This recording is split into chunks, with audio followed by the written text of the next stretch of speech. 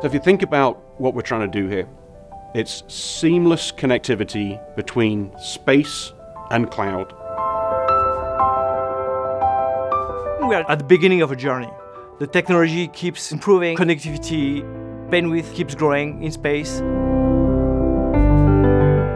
We're able to bring cloud and its benefits everywhere.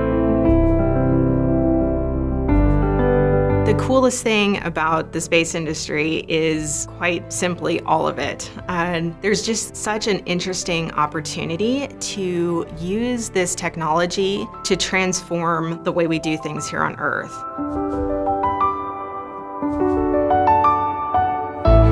We navigate using space. We communicate using space. We use space-based data to improve things on the planet.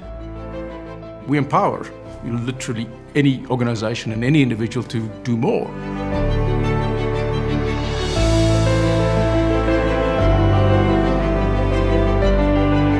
I'm Ewald Schrap.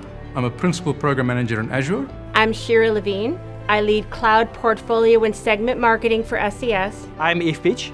I lead the Azure Space and Spectrum team at Microsoft. I'm Lynn McDonald. I'm the Azure Space Lead for Microsoft Australia and Japan. I'm JP Hemingway, and this is Close Up with Microsoft.